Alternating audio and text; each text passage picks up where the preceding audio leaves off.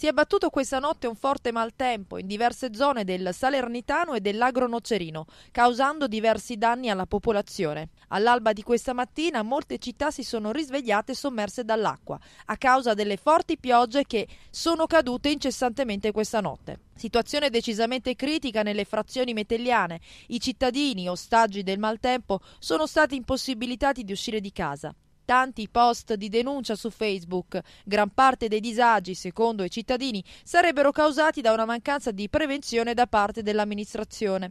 Scenario disastroso anche nell'agro nocerino, con i fiumi che si sono ingrossati oltre normale. I sindaci hanno chiuso le scuole.